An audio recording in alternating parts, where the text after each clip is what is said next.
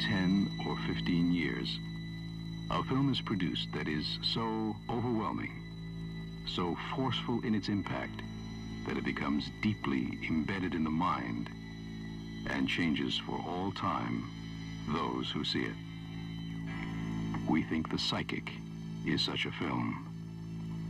Its intensity may be more than some wish to be exposed to, and those people should be forewarned.